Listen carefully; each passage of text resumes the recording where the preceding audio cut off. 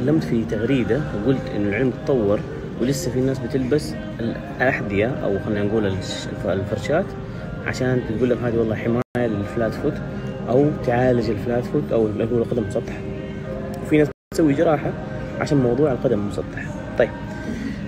آه القدم المسطحة بحد ذاتها دائما أقول ما تسبب ألم ما هي سبب لحالها في الألم. في منها أنواع ودرجات. في نوع اللي يسموه الديفورميتي اللي يسموه تغيير الشكل اللي هو يعني زي التشوه. هذا النوع اللي ممكن نقول ممكن نحتاج نسوي فيه عملية جراحية وندخل في هذا التدخل الجراحي.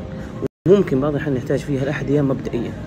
في انواع الثانية اللي هو أنت والله عندك ألم في قدمك عندك ألم في كاحلك عندك ألم في أي مكان في جسمك في الجزء في الجزء السفلي وتقول والله الفرشة حتعالجني؟ مو صحيح.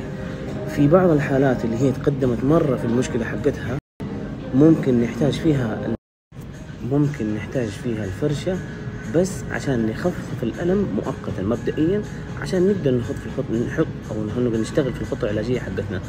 أما إنك تستخدم الفرشة وتقول والله أنا لي فترة أستخدمها ومتحسن فيها أيوة أنت متحسن الآن لكن في المشكلة بتروح على مناطق ثانية في جسمك بتروح على في ركبتك بتروح على أسفل ظهرك ممكن حتى تطلع على شكل آه تغير في شكل الحوض عندك بعض الأحيان بسبب القدم تحت.